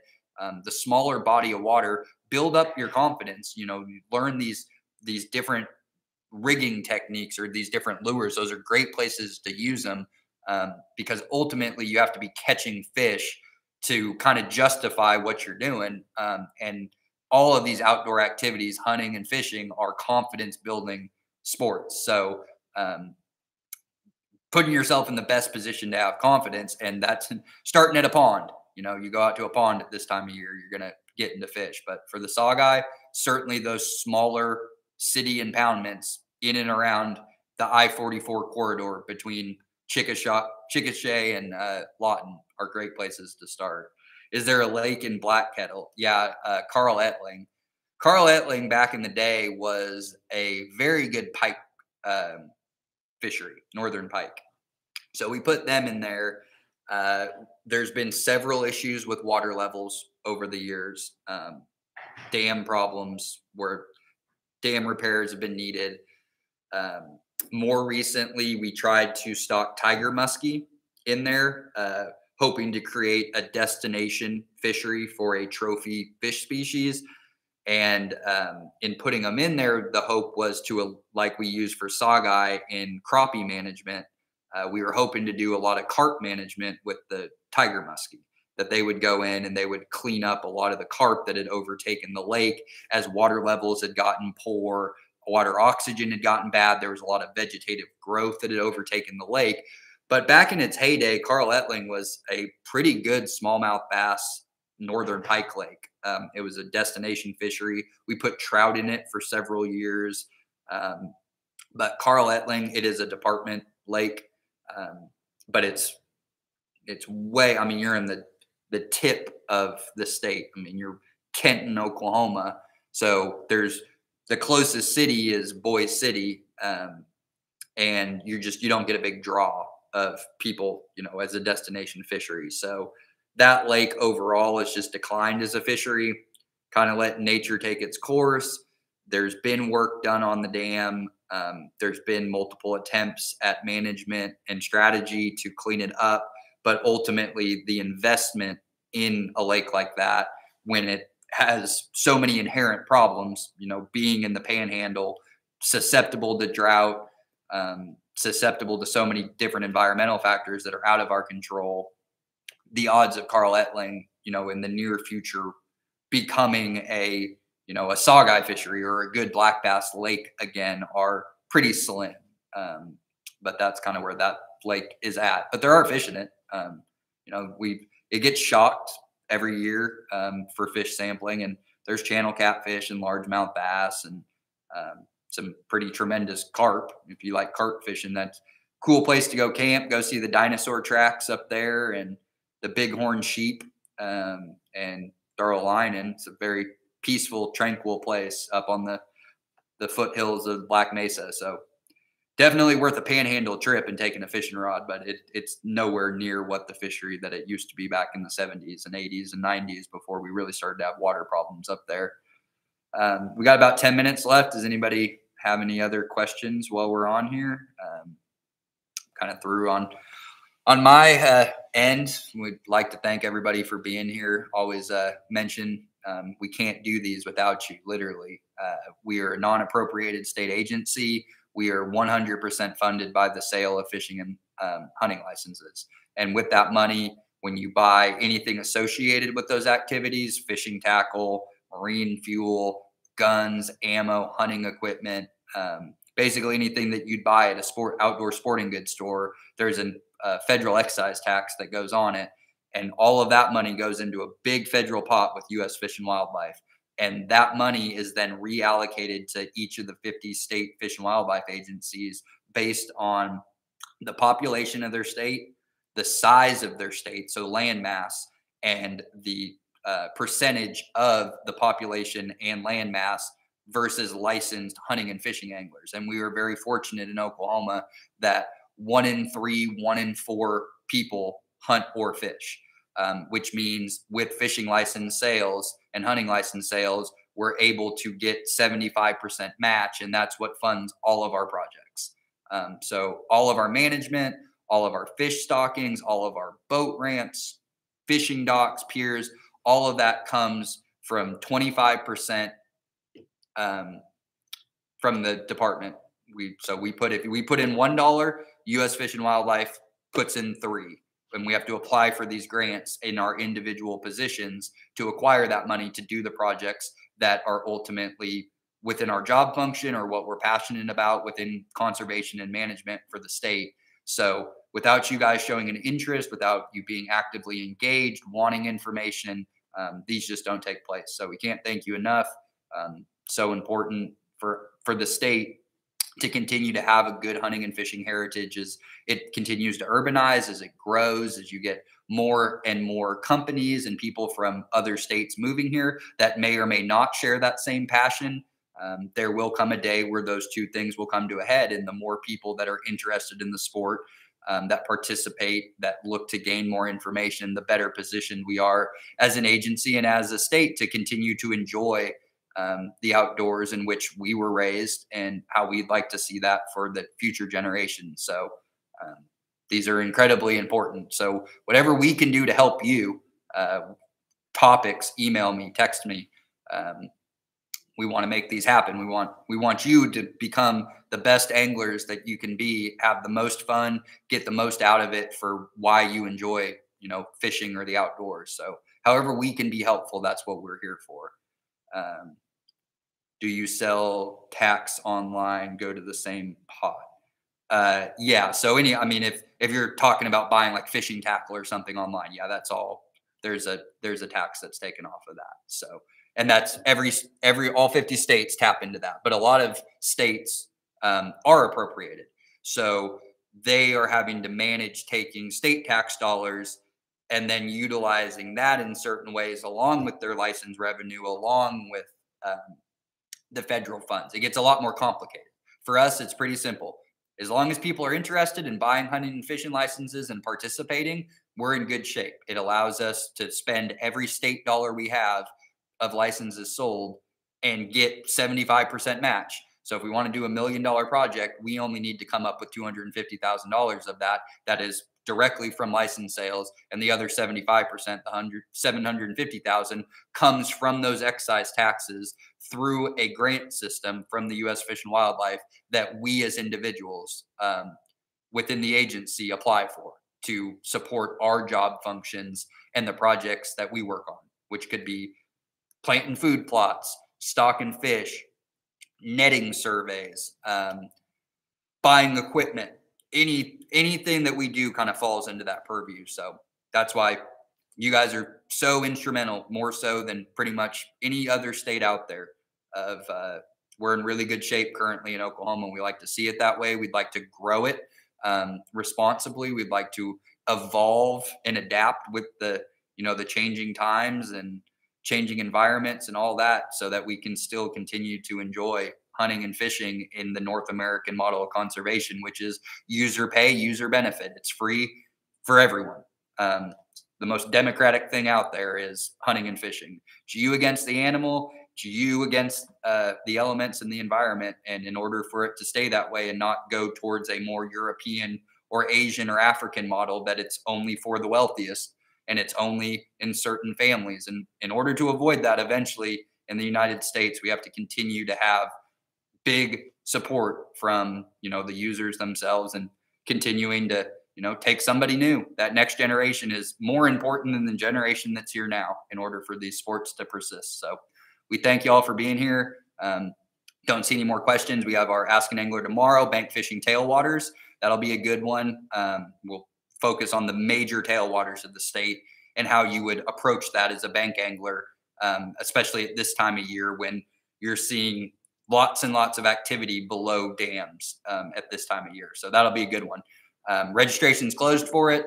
If you missed that one, you want to join, just come back to YouTube tomorrow at one o'clock and it'll show a live session playing and hop on that. So till then, appreciate you. Best of luck catching the little toothy critters uh, this spring. And if you ever need any help, you have my contact information. Call, text, or email, and we'll get you pointed in the right direction. Stay safe. Enjoy the rest of your afternoon, and we will see you next time.